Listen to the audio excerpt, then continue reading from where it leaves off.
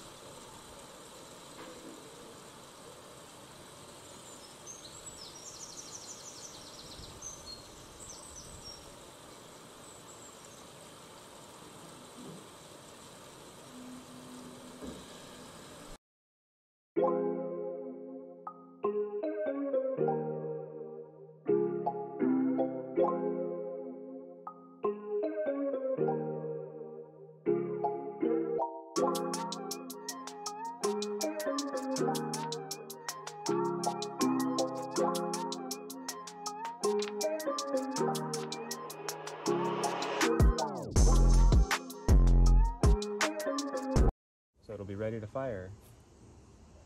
So take it off of safety.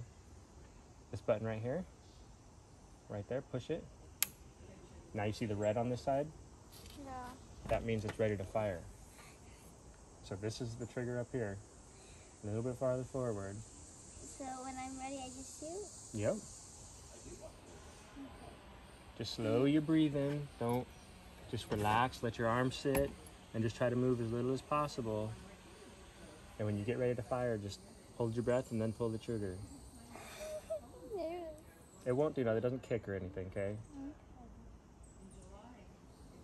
It's, uh, I can't really line it up, but You'll get better. Practice. It's really hard at first. okay, can I? Yeah.